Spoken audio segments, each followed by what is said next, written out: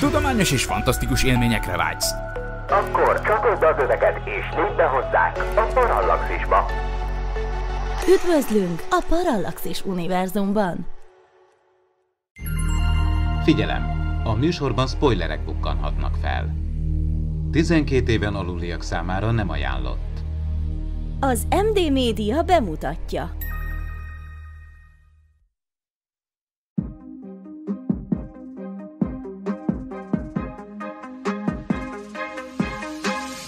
Tudományos és fantasztikus élmények Norbert alaki geográfus, Miklós alakú fizikus és Ádámmal, aki nem. Ez itt a Parallaxis, az MD Media tudományos és fantasztikus podcastje. Filmünkben a nemzetközi űrállomás tagjai a földön kívüli élet bizonyítékára bukkannak, csak hogy a kutatás nem várt fordulatot vesz, miután az idegen létforma terrorizálni kezdi a legénységet. Az űrállomás az utolsó védvonal a bolygónk és az organizmus között, így az űrhajósoknak nincs más választásuk, meg kell akadályoznuk, hogy Kelvin eljusson a Földre. Szeretettel köszöntök mindenkit, ez itt a Parallaxis 80. része a mikrofonnál Horváth Ádám Tamás. Mai műsorunkat a chat GPT segítségével szerkesztettük meg, és a 2017-ben bemutatott az Élet című alkotást vizsgáljuk. Vince Miklós fizikussal, szia Miki! Sziasztok! És Barkóci Norbi geográfussal, szia Norbi! Sziasztok! Mielőtt viszont beszélni kezdünk az űrkutatásról, az élet eredetéről és a skifi filmek varázslatos világáról, kérlek ne felejtsetek el lájkolni és feliratkozni, illetve amennyiben segítenétek tudományos és fantasztikus podcast univerzumunkat, kérlek fizessetek elő műsorinkra a patreon.com per parallaxis oldalon keresztül. Mai műsorunkban tehát az űrutazás és az idegen létformák témáját járjuk körül, beszélgetünk ennek kihívásairól és a jövőbeni űrmissziók lehetséges kockázatairól, miközben tudományos szempontból vizsgáljuk az Élet című filmet, megvitatjuk az idegen létformák potenciális hatásait az emberi civilizációra, és kitérünk arra is, hogy milyen kihívásokat kell legyőzni ahhoz, hogy az űrkutatás továbbra is biztonságos legyen az emberi faj számára. Norbi, neked mi volt az első benyomásod a filmmel kapcsolatban? Mennyire tűnt tudományosan megalapozottnak az Élet című filmben látottak, illetve maga a kutatás egy idegen faj után? Én nem most láttam össze ezt a filmet, 2017-es ugye az Élet, abban az évben láttam, pontosan nem, nem hiszem, hogy moziba, de valahogy utólag. Amikor elsőnek néztem, akkor nem tudományos szemmel, de most, hogy újra néztem a podcastra való felkészülés során, most már kicsit ilyen tudományosabb szemmel is néztem, és egy picit azért itt bele lehet azért kötni egy pár helyen, hogyha nagyon szőrszál hasogatók akarunk lenni, de úgy összességében többé-kevésbé a helyén volt a, a film. Szórakoztató faktor, azt szerintem az viszont az teljesen, teljesen oké, és tehát egy átlag uh, skifi rajongó vagy mozi néző szerintem ez a film teljes egészében elégedett lehet, hogyha, hogyha meg majd úgy is belemegyünk a részletekbe, akkor azokat úgy is megbeszéljük, hogy mi az, ami, ami azért nem, nem teljesen úgy van, ahogy az lennie kellene. Egyébként nagyon, nagyon korrekten, vagy nagyon piszin fogalmazol, tehát igazából Norbi, jó volt a film, vagy szar volt a film? Mi volt az összbenyomásod róla? Nekem tetszett. Tehát alap, alapjáraton tetszett. Azok a színészek, akik szerepelnek benne, Ryan Reynolds, Jake Gyllenhaal, őket, őket általában szerettem, meg általában jókat is szoktak hozni. Mondom, a, hogy ha elkezdjük nagyítóval vizsgálni, akkor persze találunk benne dolgokat, de, de azon kívül ez egy, ez egy tök jó skifi, összességében következetes, jó kis, jó kis ilyen, ilyen, ilyen horror, horror beütésű. Biztos beszélünk majd róla, hogy milyen referenciákból dolgozott, tehát itt azért ilyen kis alien, meg ilyen, ilyen referenciákat lehet érezni, és ez az egész klaustrofób ötlet, ugye, hogy nyilván be vannak zárva, viszonylag szűk és, és zárt helyre. Ezek az ilyen típusú filmek nekem általában bejönnek, úgyhogy uh, ilyen volt a, uh, a nagy, egyik nagy kedvencem, az 1982-es John Carpenter féle Dolog című film. Ott ugye egy uh, kutató állomás az Antarktiszon, és ott is be vannak viszonylag zárva, viszonylagosan egy fix helyre. Hát ugye itt a nemzetközi űrállomáson is hasonló a helyzet, úgyhogy az ilyen kis klaustrofób uh, filmek, horrorok, ezek, ezek nekem alapjáraton jöhetnek. Nagyítóval kell keresni, vagy ha nagyító alá vesszük a filmet, mondja Norbi. Miklós, mit szólsz ehhez? Nem tudom, most igazából én ott ragadtam le, hogy ugye, hogy te már találkoztál amúgy a Nor- Norbival az életben? Az életben nem. Na úgy, megy most mondtad, hogy a műsorunkat a ChatGPT szerkeszti. De most egyrészt ugye gyanúsan nyomdakészen fogalmaz a Norbi, ugye? Másrészt ugye megkérted, hogy mondja el a filmről, hogy jó-e vagy szar, és egyébként pont az adás előtt kísérleteztünk azzal, hogy meg akartad kérni a ChatGPT-t, hogy írjon egy lehúzós kritikát a Parallaxis podcastról, és akkor erre a ChatGPT így kihátrált, hogy sajnos nem áll módonban jön. Tehát, hogy, és akkor tehát egy született diplomatának tűnik egyelőre még ugye a, a ChatGPT, és akkor így az villant át a fejemen, hogy, hogy de mindegy. Majd, a Norbi is hasonló, bizt... ugye, meg, meg volt az érzés, hogy mintha Norbi GPT-ből dolgozna, tehát, hogy vagy ő maga lenne. Lehet, hogy fölmerül... Mintha ő maga lenne. Hát én látom ugyan a képernyőn a fejét, de ugye emlékszünk arra, hogy, a, hogy az egyik évadzáróba egy AI Csajci mondta fel a Parallaxis felkonfját, Na mindegy. De mindegy, a adás végéig biztos kiderül, hogy átmegy a Norbi a Turing teszt. Na jó, van, oké, okay, oké. Okay. Háttérben egyébként hallani a, a, a kisgyermekes sírását, hát igen. Úgyhogy, úgyhogy, úgyhogy várjál, bocsánat, de akkor ezek szerint az egyik, egyik terminust azt ugye teljesítette, mert hát ugye a, a, a szaporodás, vagy, a, vagy a, az utódnemzés az, az, az fontos a, az, a, az élet meghatározása számára, nem? Tehát, hogy akkor beszéltünk életről, ha például többek egyebek mellett tudja reprodukálni magát. Igen, hogy volt itt egy kérdés, ja, hogy nagyítóval kell keresni. Igen, na figyelj, hát itt ugye két részre kell bontani, az egyik, amit lehet elemezni és érdemes is, az pont ez, amiben belekezdtél, hogy ez így életforma szempontjából ez mennyire oké okay ez a dolog, ami történik, elképzelhető-e ilyen életforma, nagyon érdekes dolgok ezek. A másik meg az ű, űrös égi mechanikai valami. Gondolom itt ez esetben az utóbbi az a nem annyira izgi része, tehát nagyjából el lehet intézni. Bocsánat, szerintem nem, mert akkor, akkor kezdjük, kezdjük is el, mert kb. a film elején ja. történik valami, ami, hát felfigyeltem rá, ugye amikor elkapják az őrületes tempóba érkező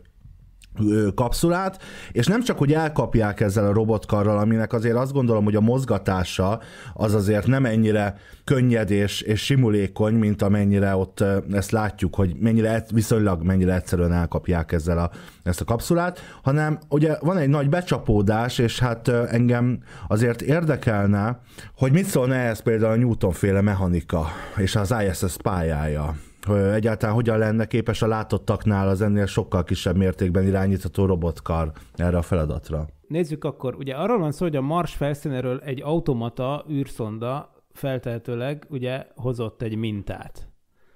Ez egy, eddig teljesen oké, okay, ilyesmit tényleg terveznek. Egyébként az sem egy légből kapott feltételezés, mert ezen elég sokat pörögtek régebben, hogy lehet, hogy pont azért, hogy még véletlenül se feltözzük össze a földi életet egy esetleges marsi organizmussal, lehet, hogy ezeket a mintákat először, ha majd tényleg jön a marsol minta, a, akkor ugye fölmerült ez az ötlet, hogy azt esetleg tényleg először az ISS-en vagy valahol az űrben kellene megvizsgálni. De, de el is hangzik a filmben, hogy az ISS nincs felkészülve erre. Hát amúgy a valóságban abszolút nincs. Ugye másrészt... De ugye, a filmben sem. A filmben sem. Na most az ISS az, az kicsit olyan, mint a mostani ISS szteroidokon. Tehát igazából minden egy kicsit nagyobb. Az ISS 20, 20 éve nem volt ekkora rend, mint amit a filmen látunk, ugye egyszerűen tényleg minden űrhajó kicsit ismerős, de azért mégse tök ugyanolyan, mint igaziból, tehát hogy, hogy valóban még az is megfordult a fejemben, hogy ugyanennek az a neve, hogy ISS, de ez igazából nem a jelenlegi ISS, hanem egy ISS, tehát egy nemzetközi űrállomás, ami a mostaninak egy fejlettebb verziója. Ott is ez a Jekaterina nevű nő, a parancsnok amúgy mond egy olyan dumát, hogy hogy ugye 30 éve fönt van már az ISS. Most, ha ez, ez az ISS lenne, akkor ez ugye valahova 2020-as évek végére, 2030-as évek elejére teszi azt, hogy hol, mikor játszódik a film. De ugye azt is mondja hozzá, hogy, hogy viszont folyamatosan bővítették, hát akkor elég rendesen kibővítették azért, mert Szóval olyan ismerősnek is tűnik ez az űrállomás, meg nem is. De, de igen, mondják, hogy nem volt rá fölkészítve. Ehhez képest, hát nem tudom, hogy nem volt rá fölkészítve, de ahhoz képest azért elég kemény cuccok vannak ott, mint hogyha lenne egy direkt erre tervezett, elhermetizálható labor, meg minden, tehát hogy konkrétan, mintha tényleg karantén jellegű kutatásokra tervezték volna. Jelenlegi ilyen nincs. Akkor beszéljük át azt is, hogy mennyire valósághű a filmben bemutatott űrkutatási folyamat, illetve a kutatók által követett protokollok. Ugye a NASA-nak van egy ilyen protokollja az ilyen esetekre, amit Planetary Protection Policy-nek hívnak. Ez a protokoll olyan tudományos és technológiai eljárásokat foglal magában, amelynek célja az élet és a földi környezet védelme a küldetések során. Hát ugye az van, hogy a NASA-nak én emlékeim szerint ebbe a, ebbe a Protection Policy-be három kategóriát különítenek el. Az azzal kapcsolatos, hogy mennyire kell komolyan venni egy adott idegen égitestről érkező mintát, illetve mennyire kell sterilizálni a Földről az oda küldött eszközöket. Nyilván, amikor egy olyan égitestre küldenek egy űrszondától, felmerül a kérdés, hogy van ott őshonos élet, akkor egyrészt fokozottan vigyázni kell az onnan hazajövő mintákra, Másrészt fokozottan vigyázni kell arra, hogy ne fertőzzük mi össze földi bacikkal, ezért például sokkal alaposabban kell egy Marsra küldött űrszondát sterilizálni, mint mondjuk egy kisbolygóhoz küldött űrszondát. Utóbbi esetében lényegében, tehát sokkal lazábbak ezek a kritériumok, nem, nem többek, mint mondjuk egy távközlési műholdnál a földkörüli pályára. Ezt képest, amikor Marsra küldenek valamit, nagyon, nagyon fontos. Tehát a Planetary Protectionnek elsősorban a fe, éppen annyira, sőt, inkább az a feladata jelenleg még, hogy, hogy a célbolygót védjék meg a földi baciktól. Rendszerint ugye, ami nagyon jól működik, az, hogy nagy, nagy UV-sugárzásra sterilizálják az űrszondákat, de persze van mindenféle egyéb módja, hőkezelés természetesen, tehát mi, mi minden ilyesminek van, hogy még alkoholba is bemártják. Tehát, hogy sok minden van, ennek a technikája az, az, az szerintem megér egy külön adást, de viszont én nem értek hozzá, szóval ezt is majd a ChatGPT-től kell megkérdezni. Már közben itten írja nekünk a planetáris védelmi politikanak a két fő elvét, vagy a két fő részét egyébként összhangban veled. Viszont ez történt, úristen, nem tudom, valamelyik űrszondával is, amit végül a Saturnusba reptettek bele, hogy nehogy megfertőzze a, talán a, a valamelyik holdját. Mondjuk a Titánt, vagy, ami elképzelhető, hogy van élet, vagy lesz. Igen, tehát ez a Cassini űrszonda volt. És pontosan az volt az ötlet, nagyon jó, jól emlékszel, hogy mivel, hogy magát a keringőegységet nem vetették annyira ö, magas szintű sterilizálásnak alá, ezért nyilván jobbnak lettek belekormányozni a Saturnusba.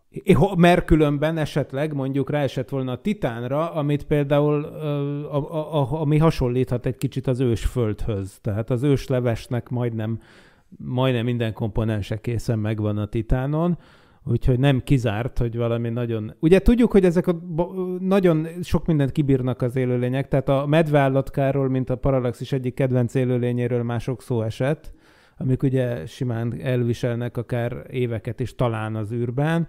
Baktériumokról konkrétan tudni véljük, hogy évekig el voltak a Holdon, aztán visszahozták a Földre és tudtak szaporodni. És akkor, ha már közelítsünk a filmhez, ugye most már azt is tudjuk, és ennek sajnos most volt a 20. évfordulója a Kolumbia űrrepülőgép szerencsétlenségének, na abból tanultuk meg, hogy meg olyan magas szintű életformák, mint a fonalférgek, az már egész hasonlít ahhoz, ami a filmben van, azok is túl tudnak ér, élni nem is az, hogy az űrbeli körülményeket, hanem a belépést a légkörbe, és a lezuhanást, úgyhogy közben szétég az űreszköz. Mert ugye a Kolumbia űrrepülőgéppel az történt, hogy vizsgáltak ilyen kis fonalférgeket a fedélzeten, de sajnos ugye 20 éve volt 2003. február 1-én ez a tragédia. Szana széjjel szakadt az űrrepülőgép, meghaltak az űrhajósok, és a roncsdalabok szóródtak szét Texasba. Tehát tulajdonképpen az űrrepülőgép itt úgy viselkedett, mint egy meteor. Ugye felizzott több ezer fokra, nem fékezte semmi, szétszakadt, lepottyant. És érdekes, hogy egy ilyen, ilyen leérkezés után a roncsok között megtalálták az egyik ilyen labor uh, rekeszt, amiben benne voltak ezek a fonalférgek, és csodát csodájára ezt túlélték. Olyan magasrendű élőlények, mint a fonalférgek, vagy akár a medvállatkák, azok nem csak a vákumban a hetekig, vagy akár évekig tartó kozmikus utazást lehetnek képesek túlélni, hanem, amit sokáig sterilizáló hatásnak gondoltak, a légkörbelépést is. És hogyha kiszámolja az ember, hiába ízik fel egy nagy meteor darab mondjuk több ezer fokra, a számítások szerint a belsejében még mindig csak olyan 60 fok alatt marad a hőmérséklet, amit egy élőlény túl tud élni. és akkor ugye az a kérdés, hogy a becsapódást magát, ami egy óriási lökés, az túléli-e, de, de ezt mutatja a tapasztalat, ez a sajnálatos repülőgép tragédiának egy megdöbbentő mellékeredménye, hogy, hogy ja, ez is túl lehet élni. Úgyhogy emiatt aztán nagyon vigyázni kell, mert az élet makacsabb, mint hitték, és akkor a Cassini űrszonda esetében az volt, hogy 2000 1997-ben, amikor felküldték a Cassini űrszondát, még nem gondolták volna, hogy az élet ennyire makacs. Aztán közben rájöttek, hogy igen, az élet ennyire makacs, és akkor mikor a 2010-es években kikapcsolták az űrszondát, akkor már jobbnak látták azt, hogy inkább akkor mégis beleirányítják a Saturnusba. Ezzel kapcsolatban szembe jutott, hogy, hogy ugye kint volt, amikor már elkezdett növekedni a lény, most kicsit így belecsapok, és ott ugye konkrétan, amikor kikerül az űrbe, ott, ott ugye vákumba, oxigénmentes környezetbe kerül, és hát azért elég sokat kint van, és, és nem nagyon látszódott rajta, hogy őt azt annyira nagyon így megviselte volna. És említetted, Miki, hogy, hogy vannak ilyen élőlények, sőt magasabb rendű élőlények is, amik, amik ezeket túlélik, hát ő, ő nagyon ilyen extrém példája lehet akkor így ennek, mert, mert eh, szerintem ugyanolyan jól érezte magát, mint bent, és, és ráadásul, tehát hogy teljesen teli volt élettel olyan, és értem, hogy egyikünk se biológus, de ugye el is hangzik egy csupa izom, csupa agy és csupa szem lény. Ez szerintetek mennyire lehetséges mondjuk egy ilyen létformát találni? Hát ugye az őssejtek azok hasonló dolgot csinálnak. Ugye az őssejtek azok még ugye nem differenciálódott sejtek, ami azt jelenti, hogy azok azért nagyon jók, mert ugye ugyanúgy, ha éppen idegsejtre van szükség, akkor idegsejté válnak, ha éppen mit tudom én, más, mit tudom én, hámsejtre van szükség, akkor azzá válnak, tehát, hogy ugye univerzálisan tudnak működni, és itt is, ha jól értem, valami ilyesmiről van szó, hogy elkezd osztódni, és akkor azt hiszik, hogy egy teleptest lesz belőle, de aztán kiderül, hogy oppá, ez nem egy baktériumtelep, hanem, hanem konkrétan egy idegrendszer épül ott ki, és elkezdenek a különböző részei differenciálódni, ez egyébként szerintem teljesen hasonlít ahhoz, ami az embrió esetében történik az embernél. Csak úgy tűnik, hogy ő ezt így magasabb szinten tudja működtetni, mert úgy látszik ezt a képességét ő az élet során is uh, fent tudja tartani, de ez speciál olyasmi, amiről én azt gondolom, hogy ez eléggé tudományos, mert mi, mi magunk is így kezdjük az életünket az anyamékben, hogy i, i, ilyenekből állunk. Mi történne szerintetek, ha, ha egyszer csak az lenne, hogy mondjuk tényleg visszahozunk egy mintát a Marsról, és abban egy hasonló életet ö, ö, találnánk? Hát én, ha, ha, ha nekem szól a kérdés, akkor... Hát a Norbi eléggé csöndben van. Igen, de lefogyott a ChatGPT, úgy, úgy, úgy, úgy látom. Nem, a, szerint, tehát hogyha ha vissza is hoznának, tehát bebizonyosodna az a, az a dolog, hogy ugye nem csak a Földön van ö, élet, hát tehát nyilván a tudományos, hatalmas, hatalmas tudományos felfedezés lenne, de hogy azon túlmutatóan is, tehát hogy itt, itt, itt, itt azért ez, az nagyon megváltoztatna mindent, tehát itt nem csak ilyen technikai újdonságok, hanem, hanem itt, itt a vallástól kezdve, itt az, az, az, az mindent, tehát ez szószoros értelme, ez mindent átalakítana az egész, az egész emberi faj, mit gondolunk magunkról, a kultúráról, vallás, az, na de, az... na de manapság 2023-ban, mikor azért fölnézzünk az égre, meg vannak kutatások, meg vannak szondáink, és azért nem gondoljuk azt, hogy, és most az UFO észleléseket leválasztva erről, tehát a nagyon intelligens és nálunk ezerszer intelligensebb létformákat most zárjuk ki, tehát csak a kezdetleges, vagy viszonylagosan kezdetleges létformákról beszélve, azért talán nem gondoljuk most már azt, kérdezem én, hogy egyedül lennénk az egész univerzumban. Teljesen. Manapság még számítana ez igazán, tehát hogy, hogy meg az inger küszöböt átlépni az emberek azt mondják, hogy igen, nem vagyunk. Tehát lenne ez egy olyan, olyan felismerés, mint amikor mondjuk a Star Trek-ben megérkeznek a vulkániak, és akkor rájövünk, hogy nem vagyunk egyedül, és itt van egy másik űrutazásra képes intelligens faj, tehát hogy, hogy egy olyan esetről el tudom képzelni azt, hogy ugyanígy, mit tudom én, amikor a bolygó neve Föld című sorozatban megérkeznek a télonok, és akkor, és akkor az emberek így rácsodálkoznak, hogy igen, itt van egy másik humanoid faj.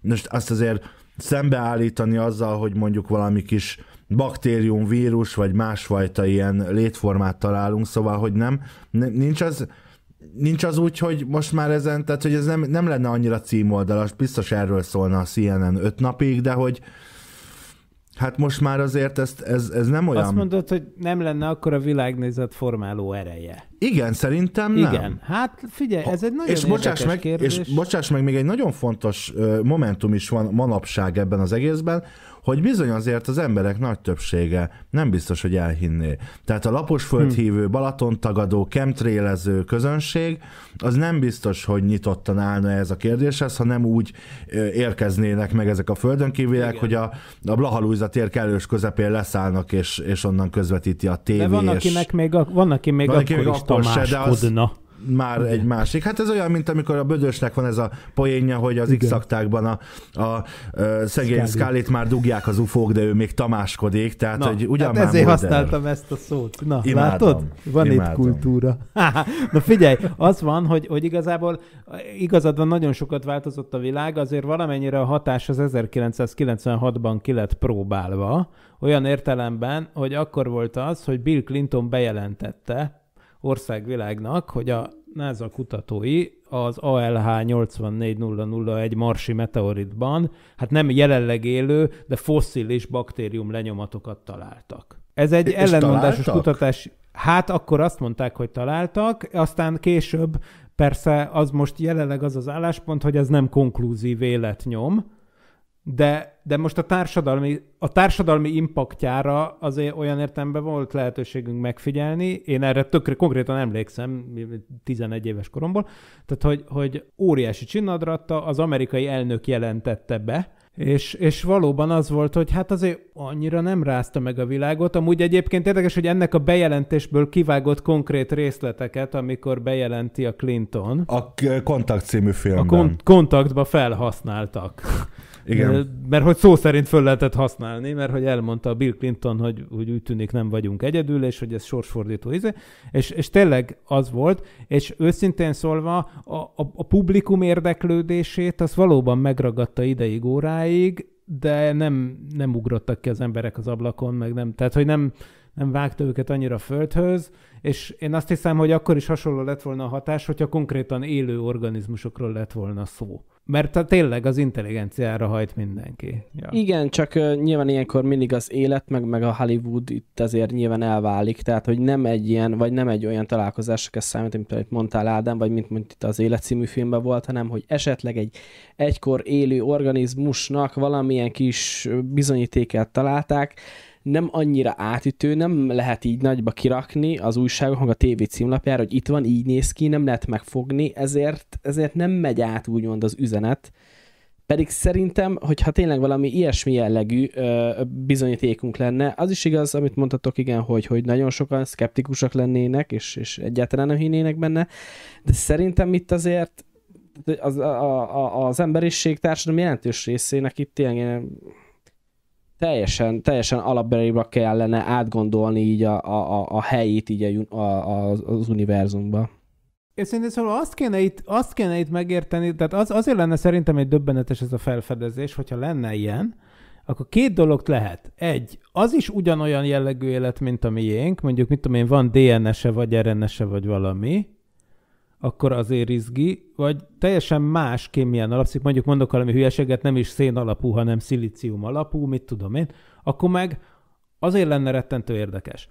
Most, hogyha mondjuk ugyanolyan DNS-e van, mint neked, akkor azt is meg kétféleképp lehet interpretálni, hogy vagy szükségszerű, hogy az élet ilyen legyen, tehát másképp nem lehet, ez is egy óriási dolog, vagy ami úgy, legalább ugyanilyen valószínű lenne, hogyha felfedeznének mondjuk marsi életet, és annak is hozzánk hasonló biokémiája lenne mondjuk, akkor azt lehetne mondani, hogy a, vagy a bolygók összefertőzték egymást. Azért azért az elég hardcore. És, És milyen poén lenne egy olyan naprendszerben élni, ahol egyébként, amikor űrutazó fajjá válunk, akkor rájövünk, hogy ö, ott a Marson valóban csatornákat látunk, és életet látunk, és ö, zöld felületet látunk, és nem így, nem így rádöbbenni, hogy hoppá, hát nem, semmi, semmi ilyesmi. Na jó, ez, ez, ez teljesen jogos, amit mondtok. Én mégsem látom a rációját, hogy a közvéleményt ez annyira felfokoznám, de abban teljesen biztos vagyok, hogy a média az ezer százalékosan ráülne, nem lenne olyan televízióadó, ami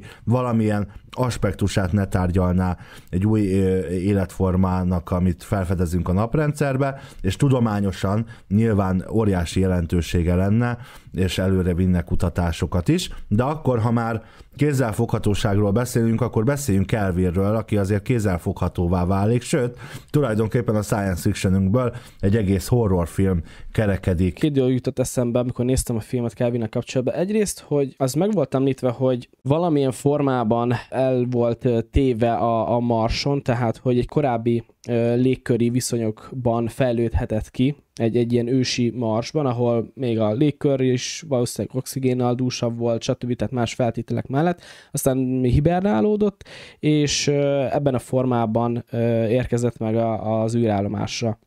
Ez végül megmagyarázza azt a dolgot, hogy ugye miért ő is oxig- oxigén, és ugye ő is szén, szén alapú organizmus, attól függetlenül, hogy erre a mai Marson nem nagyon lehetne neki lehetősége, de mondjuk néhány milliárd vagy millió évvel korábban még okés.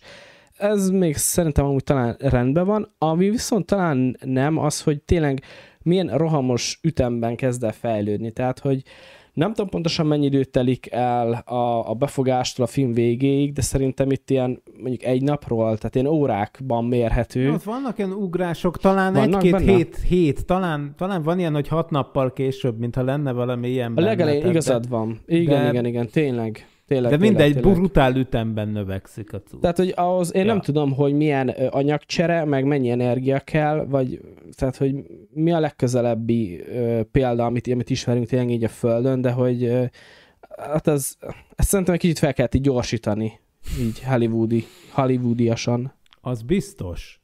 De nem tudom tényleg milyen földi lé- létformákhoz hasonlíthat ez. Tényleg olyan, mintha valami nagyon-nagyon továbbfejlesztett ilyen csalánozó lenne, ez medúza-szerű valami, de azért ennél lényegesen fejlettebb. Tehát ez egy intelligens lény tulajdonképpen, tehát az egésznek van egy egy központi idegrendszere, vagy, mit- vagy az egész maga egy központi idegrendszer, ha úgy tetszik.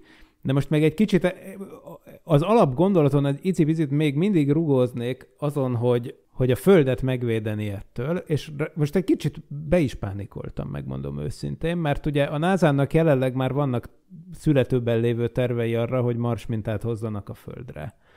Ezt mostanság tervezik ezt az űrszondát, ez mondjuk, mit tudom én, tíz, év, tíz éven belül ez egy terv, hogy, hogy ez így megtörténik. Tehát, hogy a, most a Perseverance gyűjti a mintákat a Marson, és majd megy egy leszálló egység, ami ezeket a mostani Mars rover által összegyűjtött mintákat összepakolja, és, pff, és visszahozza a Földre. Ugye Marsról még sose hoztak semmit, mert a Marsról elég nagy kunst felszállni, és ezt még nem sikerült abszolválni, de tervek már vannak. Na És a, a Bocsánat, legutóbbi... bocsánat. Miért nagy kunst felszállni a Marsról? Hát mert nagyobb a gravitációja, mint a Holdnak, tulajdonképpen ennyi. Tehát a, a De Marsnak kevesebb, az de kisebb, mint a Földnek. kisebb, persze, de hát ha belegondoltok, hogy a Földről mekkora rakéta kell ahhoz, hogy, hogy elmenjünk a Marsra. Most értem, hogy a Marson csak harmad akkora a gravitáció, mint a Földön, de azért ez még mindig jó nagy. Tehát ugye ahhoz, hogy visszahoz valamit a Marsról, egy eléggé benga nagy rakétát el kell vinned a Marsra, ahhoz meg még benga nagyobb rakétát kell vinni a Földről, ha csak nem tudod ügyesen meghekkelni azt, hogy a Mars légköréből, például ami széndiokszidból áll, mondjuk kinyered az oxigént, és akkor már is van oxidáló szered, stb. stb. De hát ezeket ki kell dolgozni, ezeket. Szóval a lényeg, hogy ez egy trükkös dolog, viszont a, a, és most jön az, a para, ami a, amire a film rávilágít, hogy a jelenlegi tervek szerint tényleg az van, hogy egy kabin szépen jön vissza, belép a légkörbe, kinyílik az ejtőernyő, és lepottyan, alig, hanem, ahogy ezt szokták csinálni Jutában, ott van egy nagy sivatag, ott a nagy sóstó környékén, ahol a mormonok laknak, ott ejtőernyővel leszáll. Pff, na most, A para az, hogy például, hát ha nem is a Marsról, de már a naprendszerben üstökösök ö, csóvájából, kisbolygóról, stb. már hozott vissza a NASA is többször mintákat, de ez nem mindig sikerült. Tehát például 2004-ben, amikor a Genesis nevű űreszköz jött vissza, ami konkrétan a napszélből, meg, meg kozmikus porból, meg ilyesmiből vett mintákat a hold távolságánál messzebb, úgymond a naprendszer ősanyaga után kutatva, az például konkrétan egy ilyen leszálló egység lett volna, és az is volt, csak nem nyílt ki rendesen az ejtőernyője, és puf, becsapódott. Úgyhogy Úgyhogy ott például az van, hogy a mintákból valamennyit meg sikerült menteni, de hogyha például az egy fertőző cucc lett volna, az simán bejutott volna egy ilyen leszállás után a légkörbe. Úgyhogy ezért tök jó ötletnek tűnne, hogy a, hogy a Marsról jövő mintát ne ennek tegyék ki, hanem tényleg mondjuk az ISS-re, vagy bárhol va, ott vizsgálják meg először, de azért ezt nem annyira egyszerű megcsinálni, és, és hát igen, tehát ha egy kicsi esélye is van ennek, akkor ezt azért akkor, akkor erre azért figyelni kéne, de a jelenlegi tervekben ez, amit a film bemutat, nem szerepel. És hogyha ezeket, um, ezeket a protokollokat ugye megtervezik és, és kialakítják őket, akkor azt el, el tudjátok képzelni, hogy az űrhajósokat erről nem értesítik, hogy ennek milyen lépései vannak, és hogy ott fent kell rádöbbenék, hogy lehet, hogy a halálukban mentek fel, tehát hogy az ott elég meredek volt, hogy ja, amúgy van egy ilyen protokoll, azon gondolkozom, hogy az Apollo űrhajósoknál hogy volt? Mert ott ugye tudjátok, őket is karanténba dugták a leszállás után, mert gondoltak, hát, hát ha a Holdon, a még kisebb esély volt, hát ha a Holdon is vannak mikroorganizmusok, megvizsgálták a holdkőzeteket a laborba, rájöttek, hogy nincs benne élet, és akkor meg, hogy él, él az Armstrong is, meg a, és akkor úgy néhány hét után kiengedték őket a karanténból. De hogy mi volt a protokoll arra az esetre, hogyha kiderült volna, hogy nem? Akkor ők életük hátra levő részébe ott laktak volna karanténban? Ők erről tudtak? Ezt aláírták? Tehát ez egy történelmi kérdés. Tehát ez, ez, ez nem is science fiction, hanem ez a valóság, és én nem tudom a választ. Tehát, hogy ilyenkor mi lett volna a protokoll? Tényleg? Megsemmisítik őket? Vagy, tehát, hogy valaki, valaki ezt egyszer a 60-as években már végig gondolta élő emberekkel. Neil Armstrong és Buzz Aldrin is hát azért önmagában inkább katonák voltak, mint civil űrhajósok. Tehát ma, manapság sok civil űrhajós vagy sok civil kutató jut fel az ISS-re például, és ott kutatásokat végez, de nem katonák, nem az amerikai légierő tagjai. Mondjuk az ha... Armstrong hív amúgy konkrétan civil volt. Igen? Ez, ez... Hát valaha katona volt, de amikor űrhajósnak állt, akkor formálisan ő már Aha. civil. De hogy, de az hogy Aldrin nem... nem de az Armstrong az Ezt nem tudtam, de hogy, hogy nem úgy van ez, hogy akkor, tehát hogyha mi fölmennénk, tehát ha velünk történne ez, és megfertőződünk valamivel, akkor nem úgy van, hogy bátran feláldozzuk magunkat, és bevesszük a cián kapszulát a kis övtartónkból. Tehát, hogy már mint hogy válaszolva a kérdésre, hogy egyáltalán fölmerülne, hát nem tudom, sortűzzel, vagy nem tudom, gázkamrába kinyírunk titeket, mert amúgy meg vagytok fertőzve, és hamarosan zombivá változtok, például.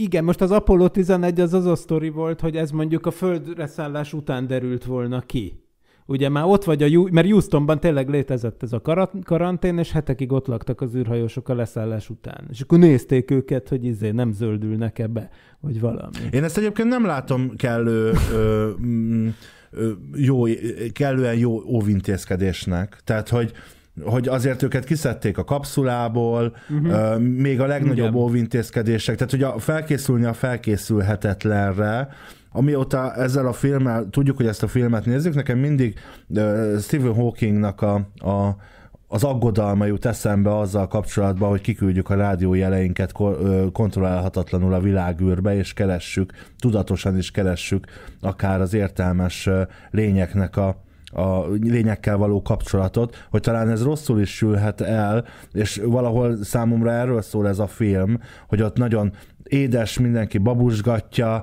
nagyon nem tűnik veszélyesnek, aztán egyik pillanatról a másikra elszabadul a pokol, és úgy látom, hogy erre nem, hogy nincsenek felkészülve a kutatók ezen az űrhajón, vagy ezen az állomáson, hanem még mintha szinte mindent meg is tennének annak érdekében, hogy, hogy hát megszívják. Tehát például, például mondjuk nagyon érdekes, amikor ugye próbálják, ott a, a kutató próbálja őt árammal, elektromossággal stimulálni, Hát mindig a Boston Dynamics-es videók jutnak eszembe, amikor az ilyen emberszabású robotokat így megküldik egy nagy, nem tudom, bottal, és ellökik, és ugye, hogy talpon tud-e maradni. Hát, amikor majd föllázadnak ellenünk, akkor bizony, bizony elveszik azt a botot tőlünk, és úgy megvernek minket, hogy még nem voltunk. Szóval, hogy a gépek lázadásától áttérve az életben lévő ö, organizmus lázadására, szerintetek mennyire volt ez ösztönös ö, az ő reakciója, mennyire mennyire mm, a, a földi életformákkal párhuzamba állítva, mennyire volt ez, ez reális, hogy ő, ő, ő, ő idővel bedurvult? Ez tök, tök jó kérdés, mert amúgy ezen én is gondolkoztam, meg olvasgattam ilyen egyéb elemzéseket, véleményeket Calvinről, és én, én hajlok arra a gondolatra, hogy amúgy ő, ő, ő inkább csak túlél talán. Sem ö, ö, gonosz szándékkal megpróbálja ö, megölni az összes kedves űrhajóst, úgyhogy inkább a túlélés az a szempont. Ha, amit mondtál, az elektromossággal próbáljuk egy kicsit ö, életet verni bele, az előtt sem volt, ö, az után kezdte el ö, piszkálgatni még, és arra, arra reagált, tehát hogy igazából csak reakciója volt Calvinnek, illetve még van egy ominózus jelenet, amikor bemászik a kis egér, kis valamilyen kis teszt, vagy valamilyen kísérleti egér, vagy patkány, nem is tudom mi volt, ott is ő nem azonnal támadja meg, hanem van egy, van egy pillanat, amikor így rá, rátámad a kísérleti patkány, és akkor persze, akkor már onnantól vége van. Úgyhogy nagyon sokszor az van, hogy ő csak, ő csak ö, reakció, ö, reagál a környezetére, és hát megpróbál túlélni. Meg ismerünk, ismerünk olyan embert, aki ilyen, ha fölébresztik. Tehát azért vegyük észre, hogy ez nyugodtan aludt volna ez a lény, csak elkezdték csesztetni áramütésekkel. És amikor már a harmadik áramütés volt, akkor, akkor kiugrott az ágyból, és elkezdte megszorítani a kutató kezét, és onnantól kezdve végig hisztiszta a filmet. De lehet, hogy mondjuk hagyjuk pihenni még egy millió évig, mert mondta Norbi, hogy ez az élőlény, ez a marson, amúgy ki tudja hány száz millió évig izé, ilyen alvó állapotban volt. És lehet, hogy most izé pff, kiaktívkodta magát, hello, hello, cuki, én vagyok Kelvin, és lehet, hogy most még aludt volna még egy millió évig, hogyha nem cseszik föl az agyát, ugye? mormotát játszik, és, és halottnak tetteti magát, amikor ugye ott megváltozik a nyomás, ott van egy kis, kis technikai hiba ott a film első felében, és ott úgy néz ki, hogy egy kicsit visszahibernálul ő, és Igen. ugye akkor kezdik, kezdik igazán baszogatni szerencsétlen. És akkor, akkor jön ki belőle az állat, ugye, úgymond. Tehát, hogy valójában itt is egy kicsit, lehet, hogy erre is rá lehet húzni azt, amit a Jurassic Parkban láttunk, hogy, hogy hát ezek csak állatok, Tim. Ezek csak, ezek csak csinálják a dolgukat. Ezek ilyenek. Nem kellett volna őket fölcseszni. Nem kellett volna oda menni. Minek ment oda? Ja, minek ment oda? Mint Godzilla ja. New Yorkban. Ez jó kérdés. Um, engem viszont az például érdekelne, hogy az a, az a uh, afroamerik, uh, afroamerikai szereplő, aki ott a főkutató, a, a Kelvinnek a, a főkutatója, az szimplán csak bolond, vagy elővigyázatlan ezzel az egésszel, vagy esetleg tényleg azt gondolja, és gondolhatja, hogy Kelvin nem veszélyes, de ezt már csak a rövid szünet után fogjuk megbeszélni, maradjatok velünk. Légy részese tudományos és fantasztikus utazásainknak, lépj be az univerzumunk színes világába, és légy a támogatónk. patreon.com per parallaxis. Szóval szerintem az a csávó bolond. Hát hagyja, hogy táplálkozzon belőle tulajdonképpen a Kelvin később. Nem tűnik úgy, hogy alkalmas a feladatra. Mit gondoltak erről? Nagyon érdekes, igen, ez a Hugh, Hugh nevű karakter. Az elején ugye vannak amúgy ilyen, ilyen, ilyen zsáner filmekben ilyen karakterek, akik így a, a, a szörnyekhez valamilyen, valamilyen bizarr módon elkezdenek vonzódni, és segítik őket, és, és elárulják a társaikat, meg és hasonló. És én is ezt hittem, hogy igen, van egy ominózus jelent, amikor a lábából ott fogyaszt, de nem, de nem, mert hogy ő ugye deréktől lefelé le van bénulva. Ő nem érzezte a lábát, nem tudta, hogy rajta van a lábán, nem szánt szándékkal csempészte be. Nem tudta? Nem tudta, hiszen nem érzi a lábát. Azt nem tudta, hogy hmm. mi baja van, akkor még szerintem nem, a keze el volt törve, azon kívül akkor még talán más baja nem volt, de elég rossz bőrben volt, De, de szerintem nem érezte, hogy rajta van a lábán. De aztán javítsatok ki, hogyha ha, ha... Igen, de az biztos, hogy ugye ő az, aki azt az álláspontot képviseli végig, hogy ő, hogy ő nem rossz indulatú a Kelvin, ő csak úgy él, éldegél, mint amit Ellen Grant mond a Jurassic Parkban, hogy hát ezek csak állatok, hát most ők csak csinálják a dolgukat. Tehát, hogy ő ezt a megközelítést, ezt a, hát mondhatjuk, hogy tudományos megközelítést, szemben ugye a karantén felelős főhős nővel, aki meg ugye bevallja, hogy ő konkrétan gyűlöli ezt a, ezt a lényt egy adott ponton. Bármennyire is nem tudományos ez. Az biztos, hogy, hogy megengedőbb, és persze én azt hittem, hogy az lesz, hogy megszállja. Tehát ugye, és látunk egy csomó ilyen filmet, én azt hittem, hogy az lesz, hogy, hogy, hogy, hogy legalább részben belepetézik, vagy mit tudom én, és akkor átveszi a csávónak az idegrendszere fölött az uralmat, hogy mit tudom én, és akkor ilyen szájlon, mint tehát hogy valahogy elkezd úgy viselkedni, mint hogyha embernek látszó ám, de az emberek ellen dolgozó karakterré válik. Én ezt vártam, hogy ez fog történni. Ryan Reynolds esetében egy pillanatra ez felsejlik, de Aha. aztán kimászik a szájából. Tényleg maga, maga Ryan Reynolds, ezen nem tudom, én legalábbis, amikor elsőnek láttam, ezen meglepődtem. Tehát ő az első, aki meghal a film, nem tudom, első harmadába. Tehát, hogy erre, erre így nem számítottam. Ha az bemegyünk az oroszlán ketrecébe, és ott megkezdjük egy bottal piszkálni az oroszlánt, akkor hibáztatható-e az oroszlán azért, hogy mondjuk leharapja a kezünket és széjjel tép, mert hogy erről szól tulajdonképpen az a kérdés, Így amit van. itt most feszegetünk. Mit gondoltok Főleg, erről? az oroszlán egy másik bolygón évszázmilliókon keresztül nyugiban ott volt lehibernálva, ugye? Tehát ez ismét a, mi, a minek ment odának a minősített esete, és bizony-bizony ezt mondom, hogy valójában ez egy, ez egy teljesen valid kérdés ilyen bolygóvédelmi szempontból, amit ez a film feszeget. De ebbe legalább tisztességes. Oké, okay, hogy a Ryan Reynolds hal, hal meg először, és ez meglepő, de ebbe legalább az egész castot tisztességesen kicsinálják. Tehát nulla darab túlélő van. Sőt, a végén ugye, spoiler, felsejlik, hogy az egész 8 milliárd fős emberiség is ki fog halni, és az utolsó pillanatig nem tudjuk, hogy a két kabin közül melyik ér le a földre, és melyik megy el, ugye, mert ugye azt a mestertervet találják ki, hogy a űr, űrpilóta, aki már eleve gyűlöli a Földet, meg már eleve 400 nem tudom hány napja fent van a, a, az űrben, és azt mondja, hogy neki elege van a földiekből, mert azok csak háborúznak, meg minden. Ő ilyen módon tök logikusan önként felajánlja azt, hogy ő beszáll az egyik olyan szajúzba, ami a filmben tök máshogy néz ki, mint az igazi szajúz, de mindegy, tehát beszáll egy ilyen ilyen űrhajóval is úgy módosítja a pályát, hogy lepattanjon a légkörről és kirepüljön a francba, míg a másik mentő űrhajóval a nő visszajön a földre, és akkor ehhez képest ugye mi történik? Fordítva történik meg a dolog, egy irányítási hiba miatt. Ki gondolta volna? Ki gond... Én nem gondoltam nem volna. Gondoltam, Tehát én már gondoltam, hogy legalább egy ember túléli ezt a filmet, kinyílik, mint Sandra Bullock, amikor izé, tudod, a, a mi az? Gravitáció. Gravity. Igen. igen. Igen, de gondoltam, na, hát ez lesz, ez jó van, hát ki, majd, majd kimászik a kabinból, és akkor izé, mert hát mégiscsak Hollywood, és akkor ehhez képest nem, hát ez egy horrorfilm, azért itt mindenki rendesen meghal, mert ugye a legvégén kiderült, hogy ja, konkrétan a nő rendült ki a légkörből a francba, az ő kabinjával, és a kabin, amit egyébként a, a meghalt japán űrhajósra megtévesztésig hasonlító halász,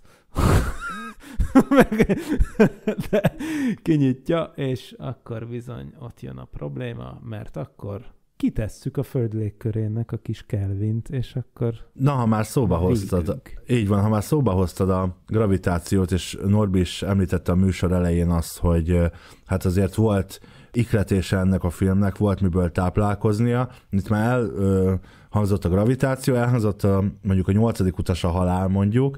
Mi, mivel véltek még párhuzamokat felfedezni, vagy, vagy történetszálakat kicsit azonosan látni ezzel a filmmel? Nekem még a Napfény című film is eszembe jutott 2007-8 környékén, szerintem Danny Boy, nem akarok hülyeséget mondani, hogy kirendezte, meg Killian Murphy a főszereplő benne, és aki Hiroyuki Sanada, aki, aki az ázsiai színész játszotta itt, ő abban a filmben is benne volt. Az a film igazából arról szól, hogy ott meg a nap, nap, nap leállt a napunk, és elutaznak oda, hogy berobbantsák egy atom töltettel. Ez ja, megint egy mag Mag 2, ezt is Olyasmi, betervezzük. olyasmi. De úgyhogy nekem az jutott eszembe, nyilván voltak színész egy- egyezések is, az is klaustrofófilm, ott is minden, ami elromolhat, az elromlik, úgyhogy, úgyhogy és, és az is tetszett. És az Apollo 18 az nektek megvan? Igen. Én Na, az, az is egy science fiction horror film, az is nekem, nekem az, az ugrott be. Ugye egyébként ez egy ilyen elég, eléggé alacsony költségvetésű amerikai-kanadai science fiction horror, ami, ami konkrétan a, egy soha nem létezett Apollo 18 küldetésről szól, amelynek keretében tulajdonképpen hát űrhajósokat evő holdkőzetek, vagy valami ilyen elég brutál életforma van a Holdon, és hát ugye végül ott is mindenki meghal, ha jól emlékszem, az, az egy hasonló, hasonló dolog volt. Csak persze mondjuk tizedennyi pénzből lett legyártva az a film, tehát ennek megfelelőek a különbségek, de minden eset, de egy rendkívül jó film amúgy egyébként így történeti szempontból, emlékeim szerint. Az egy jó régi film, ami úgy a, nem, mármint ö, 2011-es, tehát nem, Igen. nem is annyira régi, de már homályosak az emlékek. Egyszer kibeszélhetnénk azt is egy szép napon. Már beírtam. Ó, oké. Mi volt a legtudománytalanabb jelenet számotokra?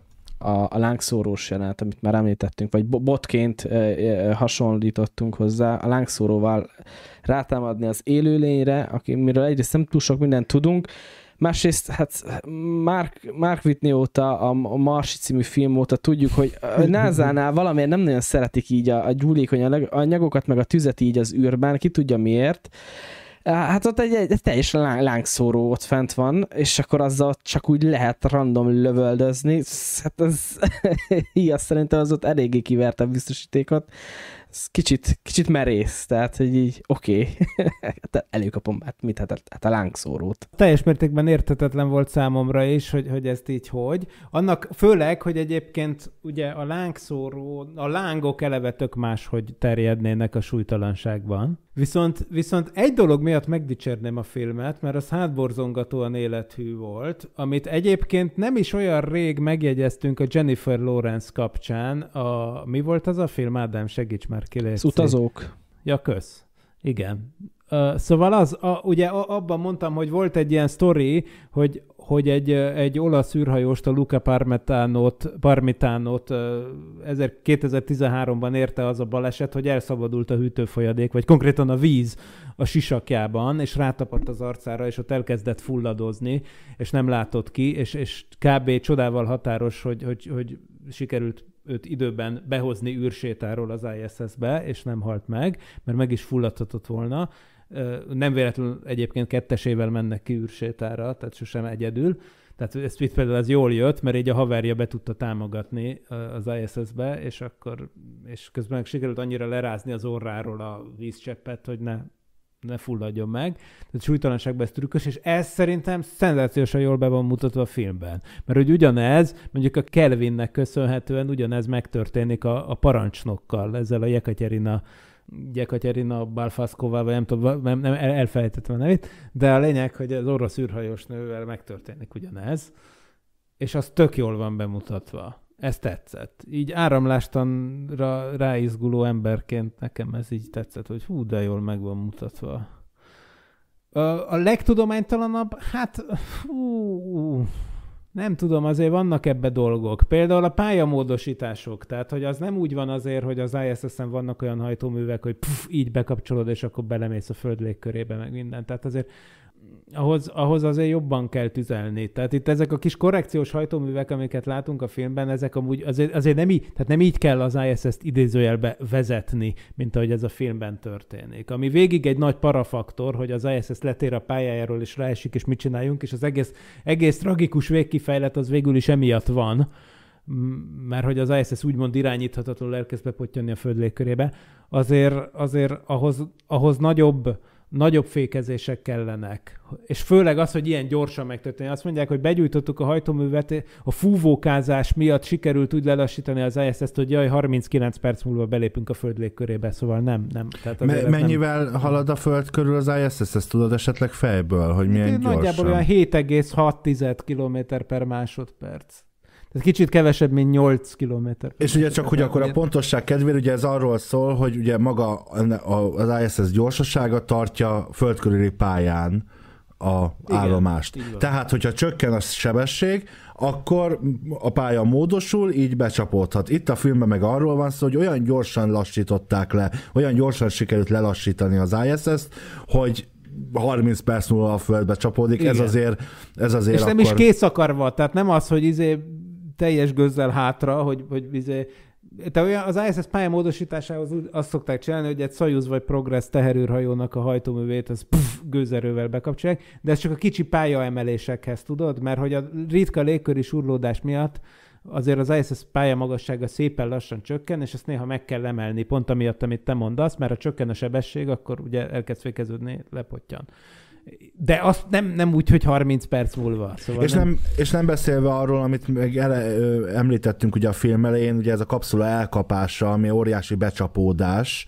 volt az ISS-nek, és hát tulajdonképpen mm. nem hangzó. Megvan, örülünk, mert megvan, és semmi az, hogy pályát kéne módosítani, vagy valami hatással lett volna ez a pályánkra, azért ez tényleg, tényleg Igen, egy kicsit ellentmond. Ott ott ugye az van, hogy, hogy nyilván nem az volt, hogy ez direkte a Marsról jött, mert akkor jött volna 11 km per másodperces sebességgel, és akkor az ISS meg megy mondjuk 8 km per másodperces sebességet, tehát óriási több kilométer per másodperces sebesség különbség lett volna, ha ez direkt a Marsról jött volna. Tehát nyilván én ezt, ez, ezt a filmrendezőnek megengedtem azt, hogy itt az a sztori, amit nem mondanak el, mert a filmben az van, hogy irányítatlanul jön a Mars felől, és akkor az sokkal gyorsabban megy, és így esélytelen lenne egy ilyen elkapás.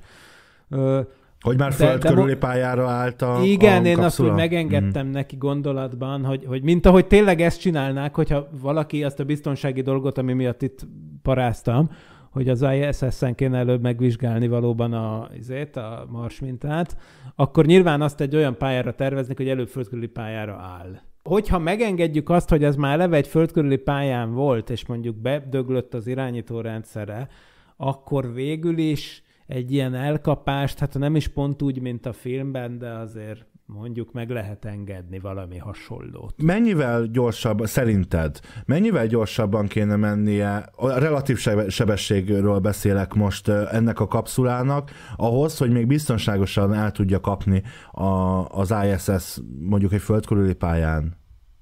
Hát Tehát, hogy a kapszula sajnos... eleve földkörül pálya van. Mi az a diffi, ami még beleférne? Vagy egymáshoz kéne gyorsítaniuk, hát a... vagy lassítaniuk? Igen, hát az optimális esetben, amikor összekapcsolódnak az űrhajók, ott a legvégén a sebesség különbség az néhány centiméter per másodperc.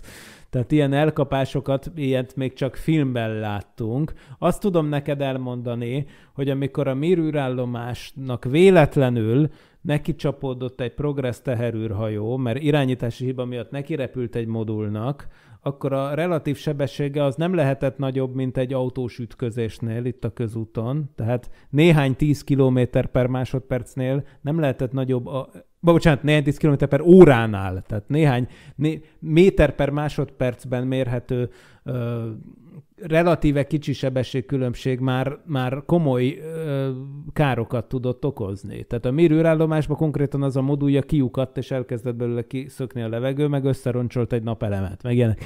És, és az konkrétan egy rendes dokkolás volt, csak elcsesződött. Tehát nem az, hogy fuss egy másik, tök másik pályán óriási sebességkülönbséggel, hanem egy dokkolásra szánt teherűrhajó tévesztett célt, és és, és szerintem mondjuk, mondjuk tényleg most ezt behasalom, de mondjuk 100 km per óra, tehát egy olyan, mint egy autók frontális ütközése, egy akkora sebességkülönbség az már az ISS-ben így egy ekkora tehereset, ekkora lendületet képviselő valami esetén, mint egy bazinagy teherűrhajó, amit a filmben is látunk, az már azért komoly károkat tudna okozni. Például azt a robotkart simán leszakította volna. Volt olyan, ez most egy kicsit off-topic, csak már érdekel, ha erről beszélünk, hogy volt olyan, hogy egy normál dokkolási folyamat az ISS-en annyira megváltoztatta a pályáját, hogy azt hamar kellett korrigálni? Az eddigi fennállása Szerintem óta. olyan nem volt, viszont olyan volt, és az itt is lett volna, ha így történt volna, mint a filmben, hogy, hogy a dokkolás után véletlenül bekapcsolva maradt egy modulnak az egyik fúvókája, és nagyon durván bepörgette az ISS-t. Tehát Ez már, ez már ez, ez például nincs benne a filmben. Talán a Gemini program óta ismerjük Ah, jaj, ezt bizony, a hát dolgot. a, a, a Gemini 8 aztán főleg igen, de az ISS-nél egyébként tavaly előtt volt egy hasonló eset, amikor az orosz kutatómodul oda kapcsolódott, és ő, az orosz kutatómodul számítógépe még azt hitte, hogy ő még szabadon repül az űrben, és elkezdett pff, így pályakorrekciókat végrehajtani úgy saját magától, miközben már az ISS-hez volt kapcsolva, és akkor elkezdett az egész pörögni. Ez egy kicsit meleg helyzet volt egyébként. És, és na hát e- na, ezt akarom mondani, hogy egy ilyen elkapásnál az például biztosan lett volna, hogy jól bepörgette volna az ISS-t, és persze egy kicsit a pálya is módosult volna, de annál sokkal látványosabb lett volna az, hogy nagyon bepörög az egész. Vagy, A vagy abban a pillanatban ellent kell neki tartani, mondjuk Hát akár a igen, vagy fúvókákkal, a- ahogy van, érkezik azon a pályán. Aha, jó, mondjuk, ez számításokat végez. Még egy kérdés, ha már ISS. Van valami pr- protokoll az ISS elpusztítására azon kívül, hogyha majd eljön a pillanat, belevezetik a Földbe, és mint a űr- vagy tehát a Föld légkörébe, és mint a Mir űrállomás majd szépen, mint egy meteorit, aszteroida elporlad a súródásnak köszönhetően, vagy esetleg van-e valami nyilvános protokoll esetleg valami olyan vészhelyzetre? Nyilván ehhez hasonló vészhelyzet talán a NASA ö, szakemberében se realizálódik még, de hogy van-e esetleg erre valami, vannak, vannak-e robbanó szerkezetek mondjuk elhelyezve a- az most az ISS-en? azért nincs, mert a legrosszabb dolog, ami tudna történni, az az, hogy Miszlikre robbantják, mert akkor annyi űrszemét keletkezne, hogy az elég, és ráadásul egy eléggé közkedvelt pálya magasságon, hogy, hogy az elég gáz lenne. Tehát Na jó, de mondjuk mi van, oké, de mondjuk mi van, mi, van, mi van akkor, ha mondjuk bevezetik a Föld légkörébe, és közben, mert azért ez egy elég nagy, tehát hogy várható Igen. Lenne, hogy ez ha be, becsapódik, akkor még ha esetleg olyan helyre is csapódik be, akkor is azért ezek nagy darabokban érnek földet. Igen, így van, ez Ö, így is van. És, és talán, talán mondjuk, oké, rendben nincsenek robbanó szerkezetek, én ezt értem, de talán nem kéne arról beszélni, hogy mennyire biztonságos, hogy ez a hatalmas űrállomás lebeg a fejünk fölött úgy, hogy nincsen neki ilyen módja, egy egyszerű módja az elpusztítására. Hát nézd, ugye arra kell figyelni, és erre figyelnek is, hogy irányított legyen a becsapódás. Ne úgy, mint mondjuk a szovjetek egyszer magára hagyták a Szaljut hétűrállomást, és a jó ég se tudta, hova fog lepottyanni. És aztán tényleg nagy darabok le is estek erre-arra. Az amerikaiak Skylab űrállomása, arra is jó nagy darabok lepottyantak Ausztráliára. A Mir űrállomásnál már profint csinálták a dolgot, mert a Mir űrállomásnál ugye irányítottan, direkt a csendes óceánnak egy, a Marianárok közelébe egyébként, tehát egy, egy nagyon ritkán rakott és nagyon mély részére a csendes óceánnak küldték, tehát konkrétan lehetett tudni, hogy egy olyan ellipszisen belül szóródik, a nyilván ekkora űrállomás esetében valóban elkerülhetetlen törmelék, eső, tehát nagy darabok esnek le, mint hogy az emlegetett Kolumbia esetében sajnos így történt. Tehát, hogy, hogy, hogy bazi nagy, akár tonnás darabok is leeshetnek ilyen esetben, az nem fog porrá égni, ezért ennyit lehet tenni, hogy, hogy úgy beirányítani, hogy egy olyan területre legyen, ahol tényleg tök lakatlan. És az ISS-nél is ez a terv. De ezen kívül én nem tudok semmi más intézkedési tervről. Azt el tudod képzelni, hogy amúgy van erre titkos protokollja a NASA-nak? Szerintem nincs, mert az ISS az ugye egy nemzetközi űrállomás, és ilyen módon aztán nem is nagyon lehetne szerintem ilyen jellegű titkos protokoll. Tehát, hogy itt, itt, itt ezek, ez egy polgári vállalkozás, és, és ráadásul nemzetközi, szóval szerintem nincs. Az lehet, hogy nem a NASA-nak, hanem a Pentagonnak van egy protokollja, hogyha irányított, irányítatlanná válik az ISS, akkor mit kell vele csinálni. Azt a protokollt én úgy képzelem el, hogy, hogy akkor oda megy egy űrhajó direkt, és az irányíthatatlan ISS beirányítja. Tehát megint csak nem az, hogy, hogy az űrben szét, szétkapni, hanem, hanem az tényleg az egyetlen dolog, amivel lehet játszani az, hogy irányítottan essen le. És, és arra el tudok képzelni protokollt, hogyha mondjuk kifogy belőle az üzemanyag, és emiatt amúgy irányítatlanul esne le, akkor valaki megközelíti egy olyan űreszközzel, ami még egy forgó lakatlan űrállomást is meg tud közelíteni, rákapcsolódik. Ilyenre kell, hogy legyen valami B, C, D terv. Igen, de ez, Ez, ez talán, na majd meglátjuk. Hát meg a názáról azt tudjuk, hogy ugye egyszerűbb fúrókat űrhajóssá képezni, mint űrhajósokat fúrókká, szóval nem. Ja, Armageddon című film. Norbé, most már egy ideje csöndben vagy, viszont te azért a filmeknek nagy ismerője vagy, amiről már tanúbizonyságot tettél többször. Beszéljünk most egy kicsit a film esztétikai oldaláról. Azért ez egy izgalmas horror, ezzel gondolom egyetértünk. Teljes mértékben, igen. Tehát a, a legelején talán ezt, ezt próbáltam amúgy kiemelni, hogy tehát az ilyen, ilyen típusú helyszínek, amikor egy, egy ilyen fix, zárt, klaustrofób helyen játszódnak, ezek, ezek mindig hálásak, mert Sokszor ugye lehetne azokat felhozni, főleg a horrorok esetén, hogy jaj, de miért nem mentél, miért nem álltál fel, miért nem hagytad ott a helyszínt, a házat, miért, meg minek ment oda ugye a napjáraton. Meg, meg miért, meg, miért, miért fut fel a lépcsőn a szőkenő miért a sikolyban? a lépcsőn, meg miért le, meg miért oda, meg miért váltok szét, stb. Igen. Na itt ezekkel ugye egy ilyen nagy tolvonással, ezeket itt mindet ki lehet pipálni, mert hát ez zárt hely, nincs hova menni. Na de látunk már ilyet, az összes mondjuk tenger alatt játszódó filmben, háborgó mélységtől kezdve, biztos tud, a mélység titka, jó, az egy, az egy pozitív ö, ö, kapcsolatfelvételről szól, de, de azért láttuk már ilyet, tehát viszont mégsem láttunk, vagy én legalábbis nem emlékszem, hogy láttam volna, ilyet az űrben játszódik, tehát az űrben játszódó filmet, tehát hogy tényleg ez kifinek indul, de azért ez alapvetően egy horror. Inkább, inkább a horror felé elmegy a dolog, az, az teljesen igaz, de jól, jól játszanak így a, a karaktereken, még a helyszínekkel. Mivel, miben látod a filmnek a legnagyobb, csak most filmesztétikai szempontból kérdezem, a legnagyobb erényét, vagy a leg, ami, ami igazából igazán izgalmassá teszi, akár számodra csak, vagy a nagy közönség számára ezt a filmet? A főleg horrorok esetében ugye ez a kimarad utoljára dolog. Tehát amikor nyilván van egy fix létszámunk, és akkor az elkezd fogyatkozni, akkor, akkor az, ember, az ember mindig hajlamos egy kicsit szurkolni valakinek, a kedvelhető Te szurkoltál?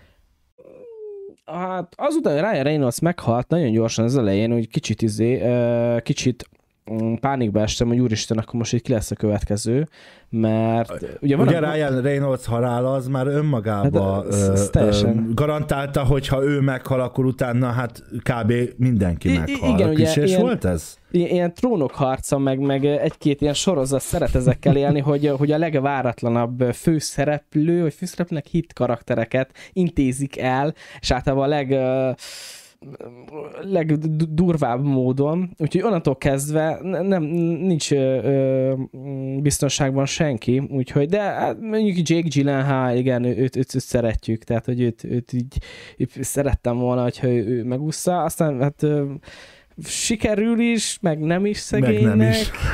Mm, Vizuálisan a, a, a legelső jelenet, amit már említettünk, aminek a lezárása a, az elkapás, mm, ott az egy, ha jól emlékszem, legalább egy 8, 8 perces, 8 perces, hát vágás nélkülinek álcázott vágatlan, hosszú ö, snit. Persze vannak benne ilyen rejtett vágások, de például az, az szerintem az egy erős nyitány, az, az tök jól kezdett, és a, a filmnek a legvége is, talán nem meg benne biztos az utolsó kép, amit látunk, de szerintem az egyik utolsó, amikor felülről látjuk a már be, be, becsapódott kabint, igen, a, a, ott a tenger közepén, és hát az ember nem tudja nem látni a, a hasonlatot, hogy ugye a kis kabin, mint egy, mint egy női petesejt, és a sok kis csónak közelíti meg, mint a férfi hímivar sejtek, és így megtermékenyítik, és az élet utat tör magának.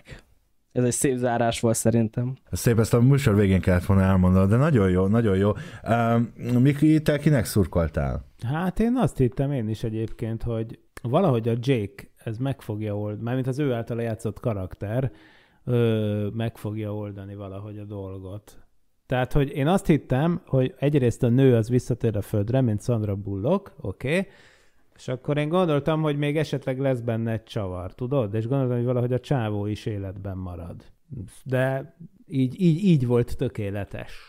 Így volt tökéletes. És az, az megvan, vagy azt uh, annó néztétek, amikor megjelent ez a film, volt mellé egy ilyen vírusmarketing-szerű dolog, nem tudom, hogy szent szándékos vagy véletlen, de egy időben el volt terjedve az, hogy ez a film, ez az előzetes, elő, előzetes film, a prequelje a Venom című filmnek. Ugye a Venom az egyik pókember spin-off, és ugye amikor visszaérkezik a Földre ez a lény, ez a, hát ugye a Venomba ez egy, egy, egy szimbionta, egy élősködő szervezet, és akkor ez a kettő film valahogy így kapcsolódik, és hogy így kerül a Földre, és hogy ez is a pókember Marvel filmes univerzum hoz valahogy csatlakozik, de ezt végül is ezt, ezt, ezt teljesen ez kitalált dolog, és, és nem így volt, de adta volna magát a...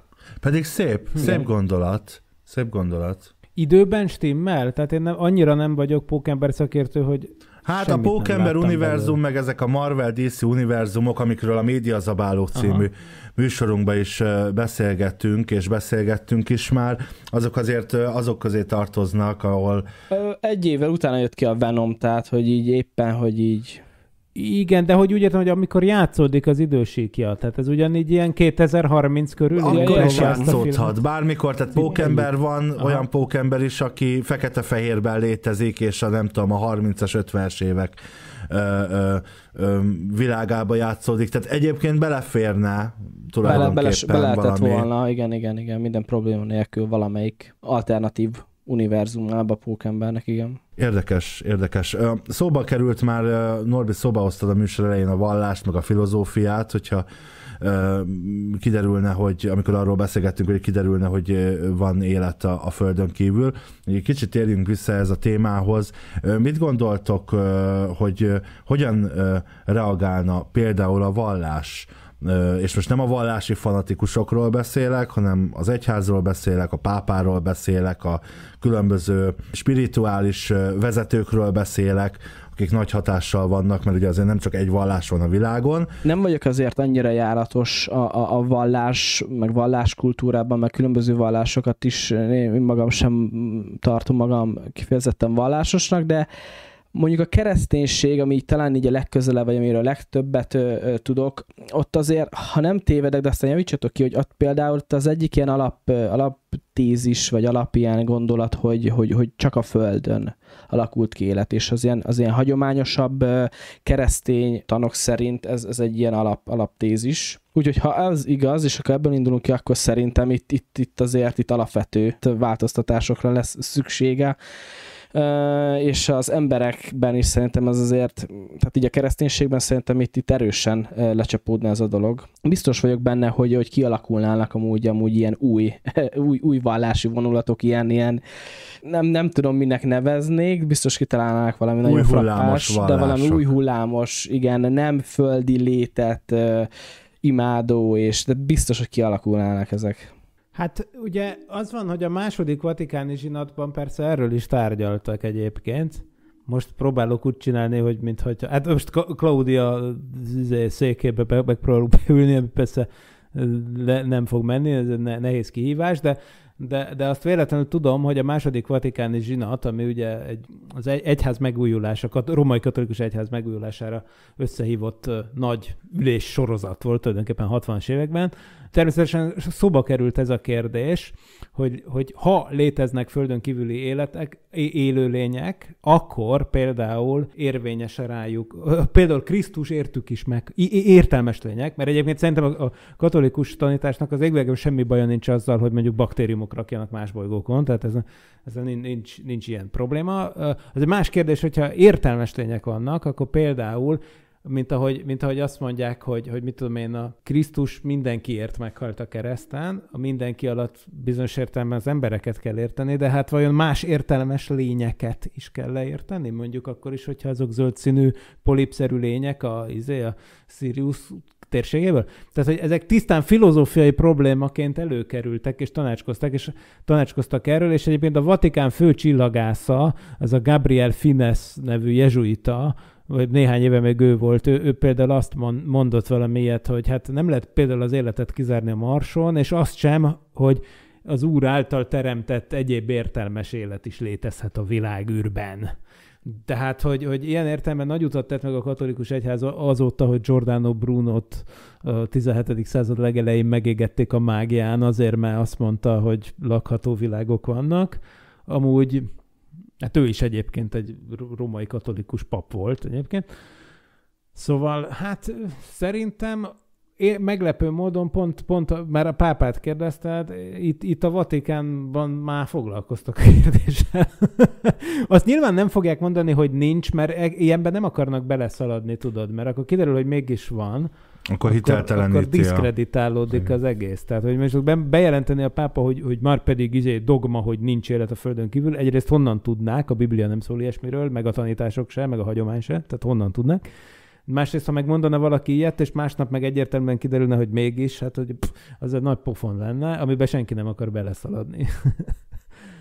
Ti mennyire tartjátok valószínűnek, hogy esetleg megtörténhet egy ilyen? Most nem az, hogy az ISS-en befognak egy kapszulát, de hogy bizony úgy érkezik ide egy uh, ilyen idegen faj, hogy egy meteoritban, ugye láttunk ilyet az Evolúció című David Gyukovnyi filmben. Nekem most ez alapján egyből a, hát ugye pár évvel ezelőtti Covid nagy ö, pánik, meg a Covid hullám elején ö, ö, már mindannyian emlékezünk rá, hogy milyen fejetlenség volt sok helyen, több szinten is, médiában, politikában, közhangulatban is, úgyhogy ilyen szempontból én ezt simán el tudom képzelni, hogyha valami ilyesmivel találkozunk, akkor, akkor ez az lesz, hogy, hogy még sose történt ilyen, pánikba esünk, így társadalom szintjén, meg emberiség szintjén, és főleg, hogyha például tényleg olyanról van szó, hogy valami interstelláris baktérium vagy vírus, és akkor az elkezdi tizedelni az emberiséget, fix, fix, hogy elpusztítanak minket, és hogyha nem, vagy valamennyien túlélik, akkor abban még biztos vagyok, hogy ez, ez tovább fejlődik, úgy, mint a filmben Calvin. Egy, egy dolog biztos, hogy lesznek olyanok, akik megpróbálnak majd szexelni ezekkel a lényekkel. Ez, ez fullos.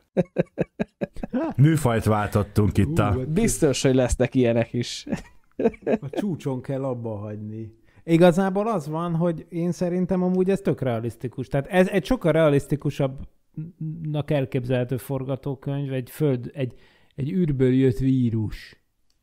Ez szerintem szenzációs elképzelés, vagy baktérium, ami, amire nincs felkészülve a földi ökoszisztéma, és mindent bedönt. Elmondtuk sokszor, hogy például ugye a, amikor a, a indián civilizációk kihaltak Amerikában, azt is csak kis részt az európai népírtó emberek csinálták, persze az ő szerepük sem elhanyagolható, de például az aszték és maja kultúrák kihalásában ennél sokkal nagyobb szerepe volt az Európából beérkező baktériumoknak, amikre az ottani, meg, meg vírusoknak, amikre az ottani a immunrendszere még nem volt felkészülve. És Európában meg már mindenki immunis volt. Na szóval, hogy, hogy ja, én szerintem ez tök elképzelhető, hogy nem az, hogy egy szuper civilizáció idejön, hanem hogy mi hozunk mintában valamit, egy kezdetleges életformát, ami, aminek azonban nincsen ellensége a Földön, és mindent kiírt. Tehát ez szerintem egy tök elképzelhető. Honnan, honnan tudjuk, hogy most nincsenek köztünk? Honnan, honnan tudják a kutatók, hogy a különböző vírusok, baktériumok, vagy akár egy újonnan felfedezett élőlény, a nem tudom, a, az óceánban, az, az, az, az földi eredetű. Nem merülhet ez föl? És mi történik, ha az derül ki, hogy esetleg hát ennek nincsen, nincsen uh, nyomait korábban, a, a genetikája, akár a DNS-e az nem, nem olyan, mint ami ennek lennie kéne, ha itt fejlődött volna ki. Figyelj, simán benne van a pakliban, hogy a földi élet az űrből jött. És az is benne van a pakliban, hogy a földi élet többször kihalt. És, és például akár amiatt, mert az, igen, ez simán lehet, hogy már megtörtént ez a sztori. Ja.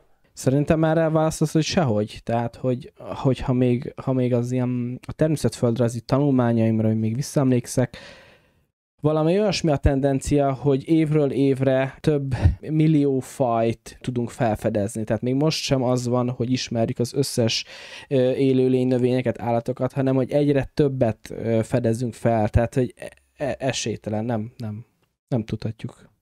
Azt biztosan tudjuk, hogy minden ma élő élőlény a Földön az egy közös östre visszavezethető, de az nem azt jelenti, hogy nem volt egy még korábbi élet, ami nyomtalanul kihalt hogy sajnos ugye DNS nem marad meg, tehát a legrégebbi életnyomok, amik vannak, ezek a stromatolit nevű teleptestkövületek, amik három és fél milliárd évesek, tehát azt már lehet tudni, hogy a Földön, amikor a, épp hogy kialakult a naprendszer, utána egy milliárd évvel már volt élet a Földön.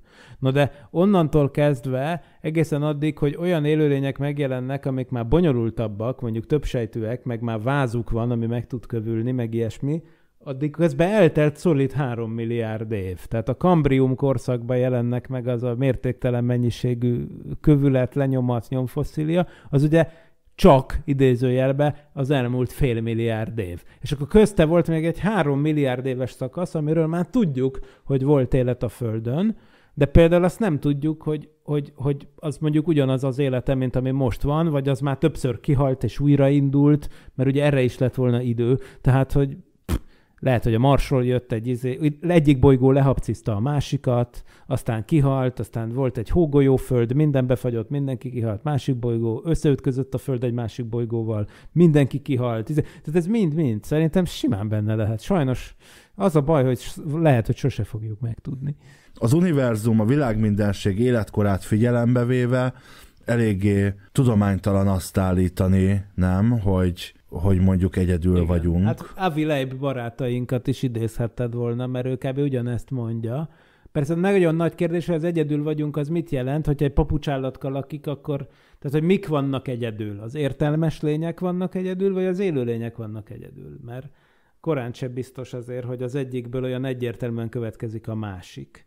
Hát ha csak nem derül ki tényleg, hogy a dinók a Holdon jártak, akkor azért azt elmondhatjuk, hogy magának az intelligens élet kialakulása, tehát az élet kialakulása is egy rulett, de az intelligens élet kialakulása még abban is egy rulett, hiszen számottevően sokkal tovább voltak ezen a földön a dinoszauruszok, és annak a különböző fajai, mint amennyi ideje az emberiség intelligens és űrutazó civilizációként megjelent a földön. Csak ilyenkor mindig az, még csak egy gondolat, hogy ugye egy, egy bolygót ismerünk, amit egy, egy bolygót tudtunk eddig ugye vizsgálni, és akkor ugye a klasszikus példa, hogy egy mérés nem mérés, úgyhogy tényleg nehéz viszonyítani így, hogy nincs más. Hát jogos. De izgalmas, izgalmas film, mindenkinek ajánljuk. Most, hogy jól elspoilereztük a végét is, tehát mindenki nézze meg, aki még nem nézte meg. Nem annyira sokat beszéltünk a filmről szerintem, hogy ne lenne érdemes megnézni és március 16-án megjelenő adásunkban pedig egy fiatal srác egy izgalmas virtuális valóságban menekül, hogy megoldja a rejtét és megszerezze az örökséget. A Ready Player One tele van popkulturális utalásokkal és szórakoztató akció jelenetekkel, miközben egy kibertélbeli játékban zajlanak az események. Steven Spielberg moziával jövünk tehát legközelebb, addig is Barkóci Norbi, Vince Miklós és valamennyi munkatársam nevében köszönöm, hogy velünk tartottatok, további kellemes podcast hallgatást kívánok kívánok, és ne felejtjétek, ez a formátum annyira tökéletes, hogy kép sem kell hozzá. Sziasztok! Nem volt elég a tudományból és a fantasztikumból? Olvasd a parallaxis.emtv.hu, lájkold a Facebook oldalunkat, nézd a YouTube csatornánkat, és hallgassd a Szokolébresztőt a Tilos Rádióban. A Tudományos Újságíró Klubja és a Tudományos Ismeretterjesztő Társulat által a Juhari Zsuzsanna díj külön díjával jutalmazott blog podcastjét az MD Media készítette. Kreatív producer Horváth Ádám Tamás. Hamarosan jön a következő rész.